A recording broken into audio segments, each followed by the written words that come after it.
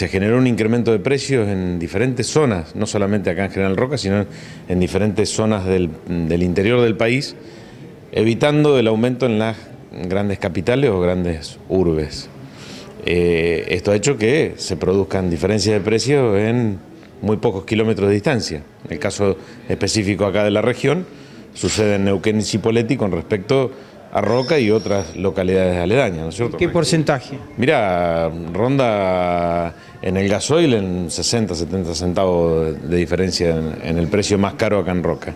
Eh, esto nosotros lo alertamos a los representantes comerciales de, la, compañía e incluso a nivel nacional se hizo una presentación, nuestra confederación, este, solicitando que se nivelen los precios en las diferentes estaciones de servicio eh, de la compañía IPF, o sea, que tengamos un solo precio en todas las, estaciones IPF o por lo menos de, acuerdo a las zonas de distribución de las diferentes destilerías, ¿no es cierto? ¿Hubo muchas quejas?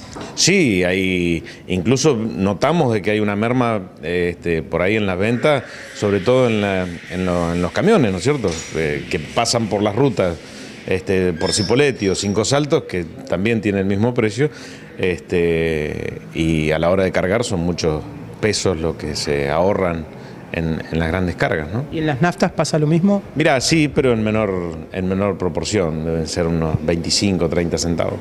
¿Y se han fijado un plazo para solucionar el problema? ¿Qué están esperando? Mira, estamos esperando a ver este, qué pasa con este cambio en la compañía, ¿no es cierto? Todavía no hemos tenido, este, si bien hemos mantenido alguna charla con el representante comercial, no ha habido de parte de la dirigencia de la compañía este, grandes cambios. Este, solo hemos advertido de que sí hay un poco más de abastecimiento de gasoil,